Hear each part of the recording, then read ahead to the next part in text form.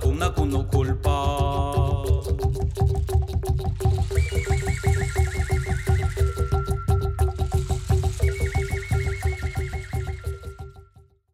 É, a gente tem de, de, de reconhecer que nós estamos transformando o Brasil já. Né?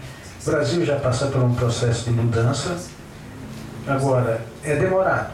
Eu sempre digo, né, aquela frase célebre, não é minha, falando assim, é, não me esperem para a colheita, eu sou apenas um semeador. E é verdade, né? Nós somos benefícios nós não vamos usufruir, não. nós estamos construindo um mundo melhor para os nossos filhos e netos. Isso é que nós estamos fazendo a Casa dos Cordéis é, tem essa missão né, de ser como aquele navio que uma hora vai chegar ao cais do porto, conduzindo todos sãos e salvos, né, que são os poetas, os menestréis, os, os bardos, os, os, batalhadores e os porras loucas também, né, que somos todos nós. Né?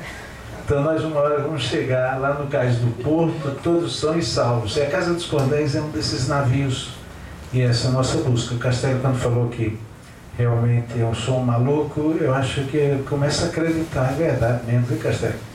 Porque para aguentar os trancos é muito difícil. Mas estamos aí, já, a Casa Escodé já tem sete anos, estamos aqui no Sarau hoje muito bacana, né? É um maluco beleza. É um maluco beleza, que nem o Oswaldo falou.